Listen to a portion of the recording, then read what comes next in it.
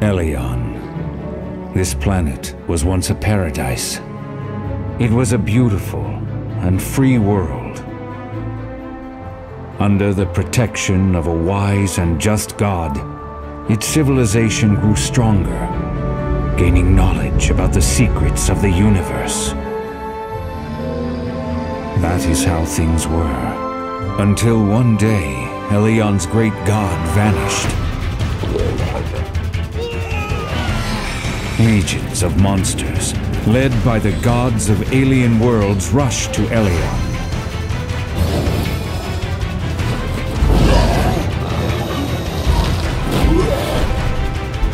Aelion's inhabitants joined forces to protect their planet from repeated invasions.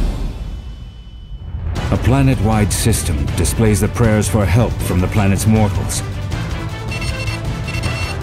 and allows defenders to come to their immediate rescue.